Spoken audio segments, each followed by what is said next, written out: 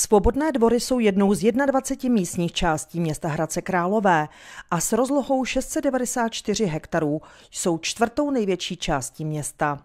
Obec Svobodné dvory vznikla v roce 1894 a v roce 1971 došlo k jejímu připojení k Hradci Králové.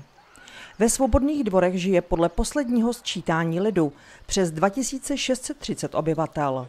I v této části města funguje komise místní samozprávy, prostřednictvím které se daří prosazovat priority. Jedním z cílů komise místní samozprávy je nastartovat komunitní život ve svobodných dvorech, protože v posledních letech, respektive v posledních několika dekádách stagnoval. A to se daří. Na letošní rok je ve Svobodných dvorech připraveno několik akcí. Pokud se jedná o akce eh, pro veřejnost, tak třeba teď v únoru jsme uspořádali první ročník svobodnodvorského masopustu.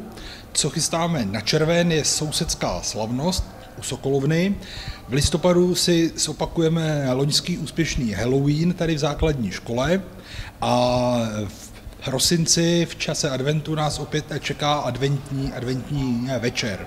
My se opravdu snažíme občany zatahovat do toho rozhodování o věcech, které se tady chystají. Aktuálně je to třeba hlasování občanů o výběr nového heraldického znaku pro svobodné dvory. A tohle už jsou návrhy, o kterých občané hlasují. Svobodné dvory historicky nikdy svůj heraldický znak neměly. Vítězná podoba bude představena 17. června v rámci programu Sousedské slavnosti. A nejen v oblasti společenského života, ale i v dalších postupech se snaží Komise místní samozprávy občany vtáhnout do dění. Tak dnes se vlastně scházíme po čtvrté v tomto, v tomto roce naši KMS a budeme opět probírat vlastně tvorbu rozvojového plánu svobodných dvorů, který právě připravujeme i ve spolupráci s občany svobodných dvorů, protože jsme zpracovali dotazník, který pomocí interaktivního dotazníku distribuujeme občanům a máme tam vlastně v současnosti už přes 100 odpovědí, tak to jsme velmi rádi. Občané tak interaktivně hodnotí, co se jim líbí nebo naopak. Rozvojový plán pak určí vizi, kam budou svobodné dvory v následujících letech směřovat. I v těchto dnech se už některé záležitosti v této části města mění k lepšímu. Aktivit, které se ve svobodných dvorech nyní dějí, je velká spousta.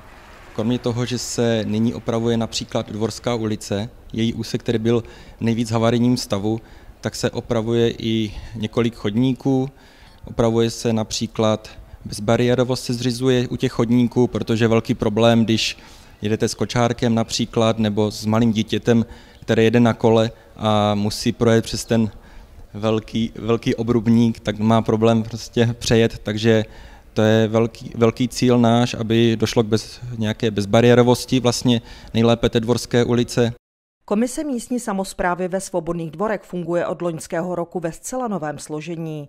Její hlavní investiční prioritou do následujícího období je realizace školního sportovního areálu s tělocvičnou a venkovním sportovištěm při základní škole. My stále bombardujeme zastupitelstvo, aby to podpořilo tento záměr, aby se uvolnily prostředky na přípravu, investiční přípravu této pro svobodné dvory nejdůležitější akce, protože dneska vidíte, že jsme v základní škole a vlastně základní škola Svobodné dvory má úplně ze všech škol v Hradci Králové ty nejhor, nejhorší podmínky, co se týče vlastně tělovýchovy, vzdělávání dětí v oblasti sportu, takže v tady doufáme, že v této oblasti se pohneme. Místní komise pro komunikaci s občany využívá několik informačních kanálů, mezi které patří stránky komise na webu města, vývěstní desky, web svobodné dvory hk.cz a zejména facebookovou stránku Svobodné dvory Hradec Králové, kterou sleduje bezmála 700 občanů, což je nejvíce ze všech komisí místních samozpráv